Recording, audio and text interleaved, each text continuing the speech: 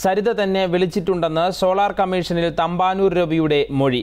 പല കാര്യങ്ങളും സരിത ആവശ്യപ്പെട്ടത് ചെയ്തു കൊടുത്തുവെന്നും മൊഴി നൽകി. കഴിഞ്ഞ ഒരു വർഷത്തിനിടെ സരിതയെ അൻപത്തി ഒന്ന് തവണ ഫോണിൽ വിളിച്ചുവെന്നാണ് രേഖകൾ.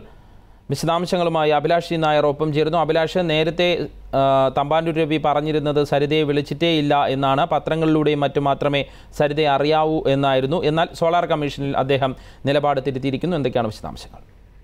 തമ്പാനൂർ രവിയും സരിതയും തമ്മിലുള്ള ടെലിഫോൺ സംഭാഷണങ്ങൾ മാധ്യമങ്ങളിലൂടെ പുറത്തുവന്ന സാഹചര്യത്തിലാണ് സോളാർ കമ്മീഷൻ തമ്പാനൂർ രവിയുടെ കാര്യത്തിൽ വിശദീകരണം നൽകുവാനായി നേരിട്ട് ഹാജരാകണം എന്നാവശ്യപ്പെട്ടത്. അതനുസരിച്ചാണ് ഇന്ന് രാവിലെ അദ്ദേഹം കമ്മീഷന് മുമ്പിൽ ഹാജരായത്.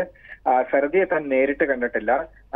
പലതവണ ടെലിഫോണിൽ സംസാരിച്ചിട്ടുണ്ട് എന്നായിരുന്നു തമ്പാനൂർ രവിയുടെ പ്രധാനപ്പെട്ട വാദം. താൻ ഒരു പൊതുപ്രവർത്തകനാണ്. പലരും തന്നെ ടെലിഫോണിൽ വിളിക്കാറുണ്ട്. എല്ലാ ഫോണുകളും താൻ എടുക്കാറുണ്ട്. കഴിയ കഴിയുന്നത്ര സഹായങ്ങൾ എല്ലാവർക്കും ചെയ്തു കൊടുക്കാറുണ്ട്. തന്റെ ആ സ്വഭാവം അനുസരിച്ച് സരിത തന്നെ വിളിക്കുകയും ചില ആവശ്യങ്ങൾ ഉന്നയിക്കുകയുമാണ് ചെയ്തത്. പക്ഷേ ഇതിന് സോളാർ കേസുമായി ബന്ധമില്ല എന്നായിരുന്നു തമ്പാനൂർ രവിയുടെ വാദം. നിയമവിരുദ്ധമായ ഒരു സഹായവും താൻ സരിതയ്ക്ക് ചെയ്തു കൊടുത്തിട്ടില്ല. ചില ആവശ്യങ്ങൾ ഉന്നയിച്ച് തന്നെ വിളിച്ചപ്പോഴൊക്കെ തനിക്ക് കഴിയാവുന്ന കാര്യങ്ങളായിരുന്നുവെങ്കിൽ ചെയ്തിട്ടുണ്ട്. പ്രധാനമായും സരിതയ്ക്കെതിരെ വ്യക്തിപരമായ ചില പരാമർശങ്ങൾ ചില ചാനൽ ചർച്ചകൾ കോൺഗ്രസ് നേതാക്കന്മാർ നടത്തിയപ്പോൾ അത് അവസാനിപ്പിക്കണം അത് വിലക്കണം എന്നാവശ്യപ്പെട്ടുകൊണ്ട് സരിത തന്നെ വിളിച്ചിരുന്നു എന്നും തമ്പാനൂർ പറഞ്ഞു. ഈ ഈ സാഹചര്യത്തിലാണ് സോളാർ കമ്മീഷൻ തന്റെ പക്കലുള്ള ചില പ്രധാനപ്പെട്ട തെളിവുകൾ രവിയെ കാണിച്ചത് ശ്രുതിയുമെ താൻ അങ്ങോട്ട് വിളിച്ചിട്ടില്ല എന്ന വാദത്തെ ഖണ്ഡിക്കുന്നതായിരുന്നു കമ്മീഷന്റെ തെളിവുകൾ.